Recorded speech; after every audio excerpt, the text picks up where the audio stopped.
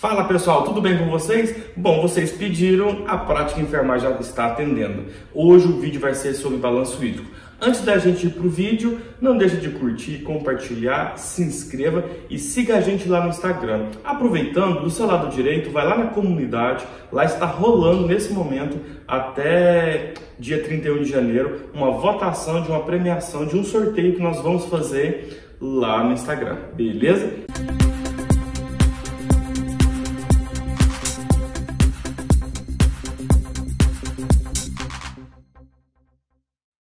Bom, galera, vamos falar agora de balanço hídrico. O que é o balanço hídrico? É o balanço de volume que entra e que sai do paciente em 24 horas. Essas informações são muito importantes para vocês, tá bom?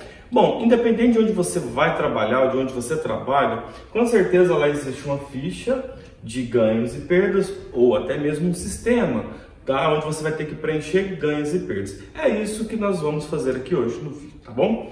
Bom, aqui é, eu fiz um esquema da seguinte forma: 7 horas da manhã até 5 horas da manhã. Aqui estou fazendo intervalo de 2 em 2 porque meu quadro é pequeno, tá? Senão não faria de hora em hora, ok? Bom, o que, que acontece? É, aqui vou, claro, vou só exemplificar, vou colocar só alguns exemplos aqui de ganhos e a gente vai quantificar isso no final e vai fazer o balanço hídrico, tá bom? Então, olha só, o que, que é ganhos? Ganho, pessoal, ganhos é tudo aquilo que entra no paciente. Por exemplo, vamos lá, olha aqui, soro fisiológico. Ó, soro fisiológico, 500 ml entrou no paciente, qual foi o horário que ele que entrou? Você vai lá, coloca o horário, coloca o volume que está sendo infundido ou que infundiu e pronto, você vai colocar tudo que vai entrar no paciente, tá bom? Ah, o paciente está com a sonda nasentérica, ela está sendo utilizada para infundir dieta, qual é o, e a dieta é líquida semilíquida, qual é o volume disso? Qual o horário que iniciou, que terminou? Tudo isso você vai ter que colocar no seu balanço hídrico aqui, beleza? Então vamos falar só de ganhos agora e depois eu falo de perdas. Para a gente otimizar, eu vou usar o verde como ganhos, o vermelho como perdas, tá bom? Tá, o que, que seria ganhos? Vamos colocar aqui soro fisiológico, tá? Enfim, vou colocar aqui uma linha de soro fisiológico, tá bom? Vamos imaginar que às 9 horas da manhã foi instalado um soro de 500 ml no paciente, tá bom? E de acordo com a, o volume né, que foi passado em 24 horas para a instalação é, de, do soro para o paciente, entrou 500 ml, teve a necessidade às 19 horas de mais 500 ml, por exemplo, tá? Então, até, até agora, no balanço hídrico, eu tenho 500 ml, mais 500 ml de soro fisiológico. Esse aqui entrou às 9 horas e teve uma necessidade às 19 horas, tá? Estou dando aqui só exemplos hipotéticos. Vamos imaginar também que este paciente ele recebeu medicações via venosa. Só que, preste bem atenção, se a medicação foi feita aqui no soro, tudo bem. Mas vamos imaginar que essa medicação foi diluída fora uh, e não foi utilizado esse soro fisiológico, por exemplo. O paciente tem um equipo polifix e você fez o medicamento no equipo polifix, tudo bem? Vamos imaginar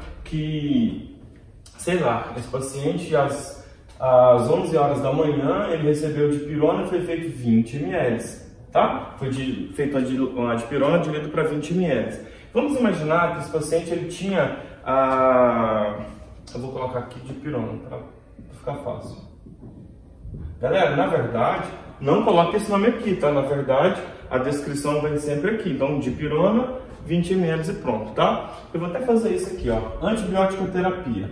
Esse paciente ele tem é, antibiótico de horário, tá? Ele tem antibiótico de 8 em 8 horas. Logo, em 24 horas, ele vai receber aí é, três dosagens desse medicamento. Vamos imaginar que esse medicamento começa às 8 horas da manhã.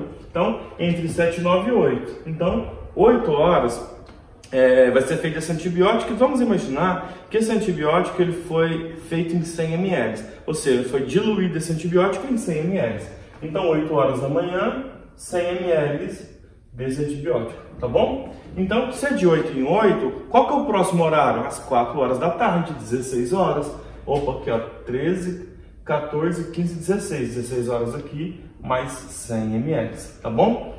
Se é de 8 em 8, qual é o próximo horário depois das 16? 24, meia-noite, não é isso? Então, vai ser entre 11 horas e 1 da manhã. Vai ser aqui 100 ml. Tá? Então, para o nosso exemplo hipotético, eu vou estar tá usando só isso, tá? Para não ficar feio, gente, eu vou colocar essa de aqui também, tá? Foi a única coisa que nós utilizamos.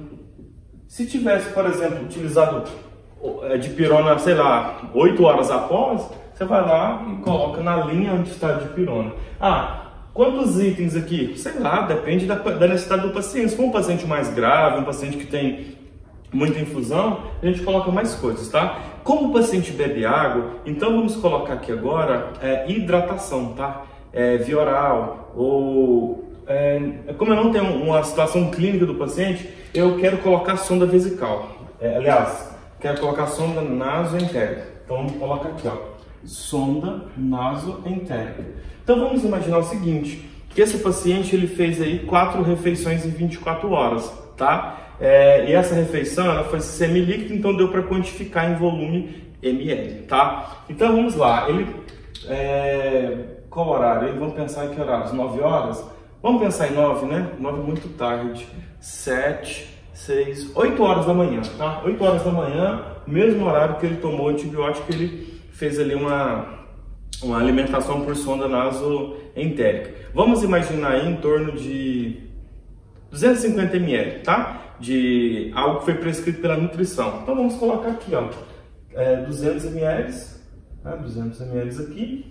Aí teve o almoço, mas aí como ele está com a dieta restrita, vamos, vamos pensar que os pacientes têm uma dieta semi-líquida, por exemplo, ou líquida, enfim, vamos pensar dessa forma, senão eu vou ficar muito tempo aqui fazendo esse vídeo. 200 ml aqui, então meio-dia, 8, 9, 10, 11, 12, mais 200 ml, ah, que horas? 16 horas, 17, 18 horas, mais 200 ml, vamos pensar aqui agora, quanto tempo? 22 horas, né? Foram as 18, 22 horas, mais 200 ml.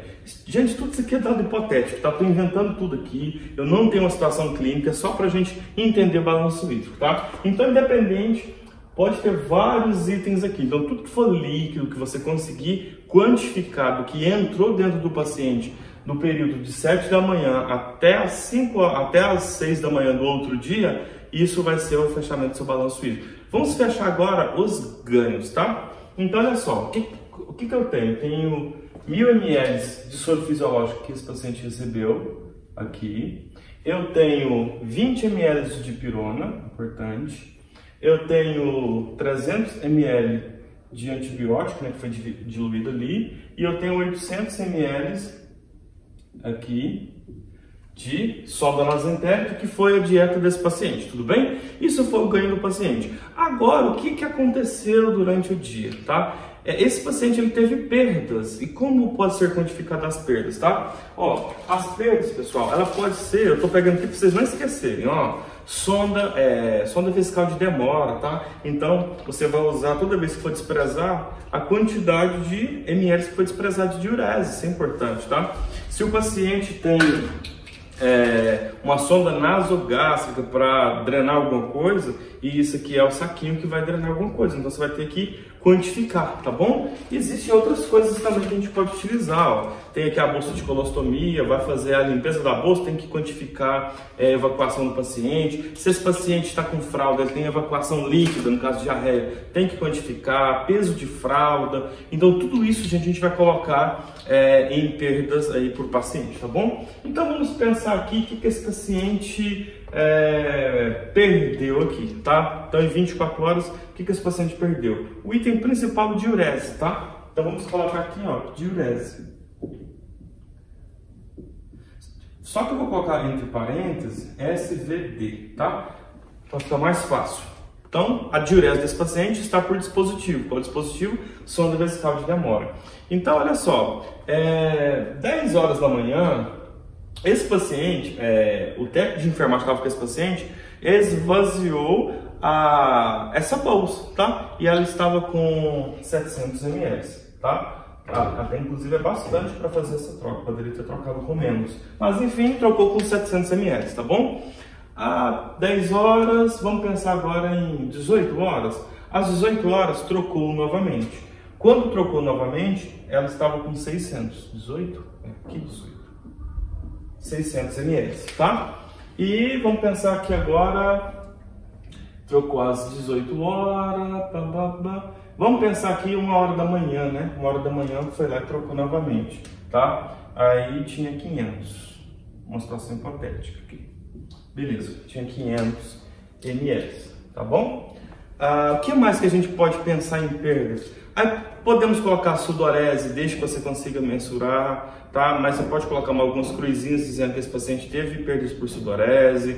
É, se for um paciente cirúrgico, você pode quantificar é, a quantidade de sangue né, que ele perdeu, se você consegue quantificar. Paciente que está com dreno de tórax, quantificar principalmente a troca do selo d'água, a quantidade que você perde aí de líquido ali. Então, tudo isso você vai fazendo o, o balanço do paciente, tá? Eu coloquei só diurese aqui para não estender tanto o vídeo. A gente pode colocar outras coisas aqui como perdas também, mas eu vou deixar por aqui porque senão o vídeo fica muito longo, tá bom? Então, vamos somar aqui, né? 700 com 600 vai dar 1.300, com 500, 1.800.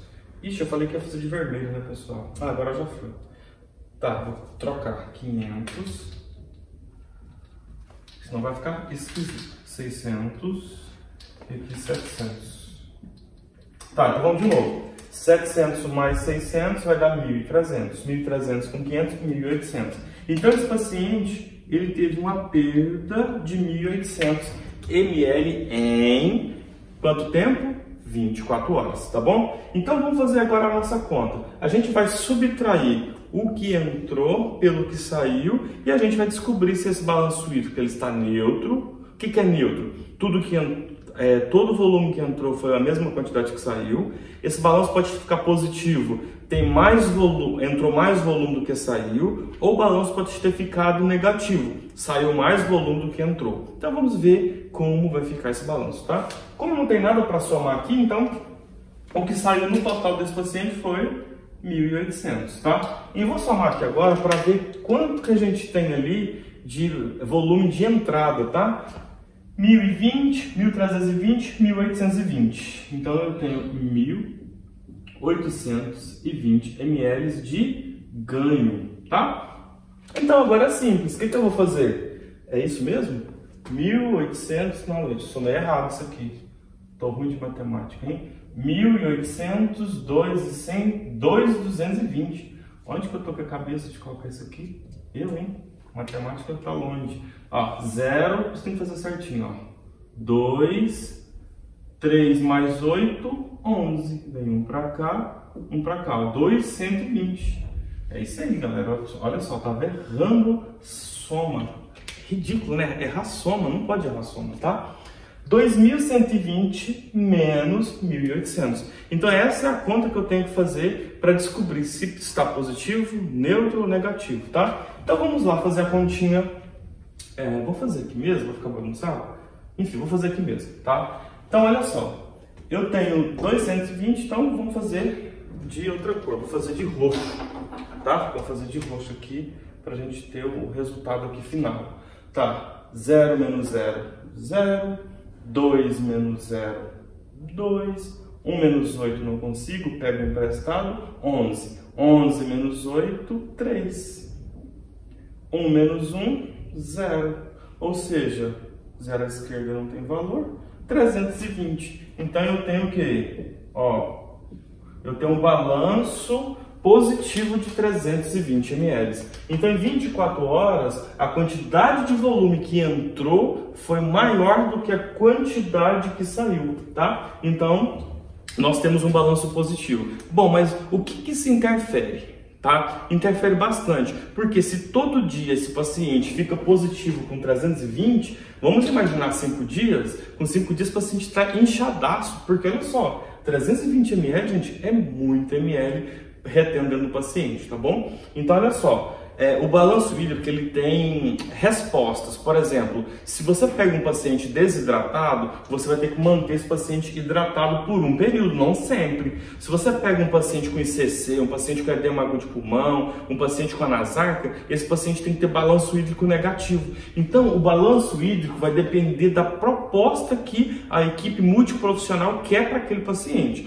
Então, eu posso querer um balanço hídrico positivo para um paciente que está com desidratação, um paciente que está é, com falta de volume, um paciente que, está com que teve uma hemorragia, um paciente pós-cirúrgico, posso querer um balanço positivo. Eu posso também querer um, um balanço ali neutro, né, próximo ali do que entra e sai, que é a maioria dos pacientes que não tem é, uma gravidade maior, eu preciso manter ali a entrada e saída meio que equilibrada. Por isso que é um balanço hídrico.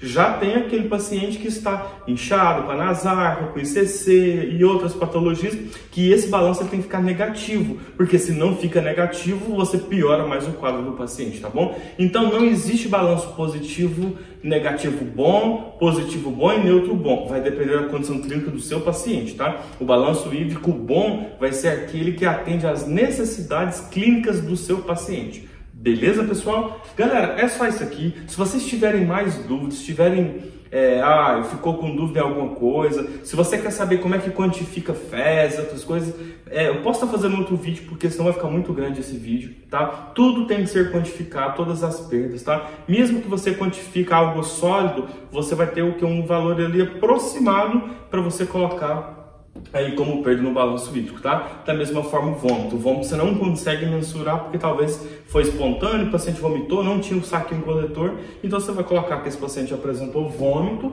coloca ali uma, um valor aproximado, ou coloca ali uma cruzinha, só para a gente entender que, vamos imaginar que esse paciente aqui teve vômito, se esse paciente teve vômito eu não consegui mensurar, você concorda que 320 foi a conta matemática que deu, mas não necessariamente eu tenho 320, porque ele perdeu mais do que 1.800, porque eu não consegui quantificar o vômito do paciente. Se esse paciente teve, é, por exemplo, fezes ou diarreia e eu não consegui quantificar, eu vou ter que aumentar esse valor aqui também. Então, ou seja, não seria um valor real frente a outras perdas que esse paciente teve durante as 24 horas de plantão, mas que eu não consegui mensurar. Então, tudo isso tem que ser levado em consideração. Beleza? Galera, para quem veio até aqui, não deixa de curtir, compartilhar, se inscreva, comenta e até o próximo vídeo.